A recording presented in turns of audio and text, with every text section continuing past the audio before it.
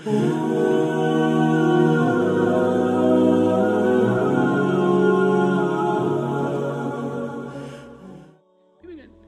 عصر صحابی کرام وقتی که یک کس میامد پیش مسلمان ها می‌گفت برای من من چی کنم که من یک انسان خوب باشم؟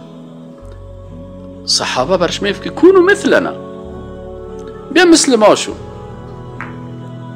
اونا می‌گفتن مثل شما؟ آه؟ می‌گفت چه قسم یعنی من بیبی که من چه قسم نماز می‌خوانم بیبی که من چه قسم بازار میرم مارکت میرم چه قسم سودا می‌خرم چه قسم خرید می‌کنم چه قسم فروش می‌کنم چه قسم کار می‌کنم چه قسم ارتباطم با دیگرها هست. این پشت پشت ما بیان سعی کرجی ما کردم اینه می‌خواستم تو یک مسلمان واقعی هستی. امروز آیا کسی هست که برای ما بگه که برش یک کافر بتیم برش بگیم که مثل فلانی شو تو یک مسلمان واقعی هستی؟ در مسجد ببینید چه خوب نماز می‌خوان که همین دمی را که برآمد بوتای تا وقت لغت کردن هر خفتن که بیری بوتای 16 دفعه لغت شد آیا درست است.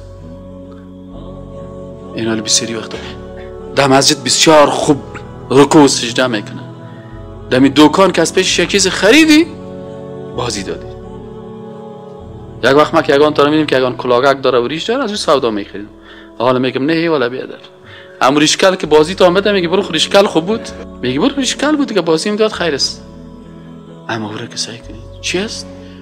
که ما نصف دین گرفتیم. نصف دین چی کردیم؟ ترک کردیم. افا تؤمنون به بعد الکتاب. از یهود قصه بر ما می‌کنه چرا اونا رسوا شدن؟ لعنت خدا سرشان نازل شد. به خاطر از که به نیم کتاب باور داشتن به نیم دیگهش باور بالا افغان های گپ است عین گپ است. عین گپ است. در افغانستان به سعی کنی. نماز من نماز بابا کلان ما قبول دارم. اما اگر بگوش نه صحیح نماز بخوان. که کمک وقت تا یک ده دقیقه نماز بده. میگه نه نه نه قسمی نماز ما قبول ندارم. حج میرم. اما اگر برش بگی قبل از حج زکات فرض است. برو برادر.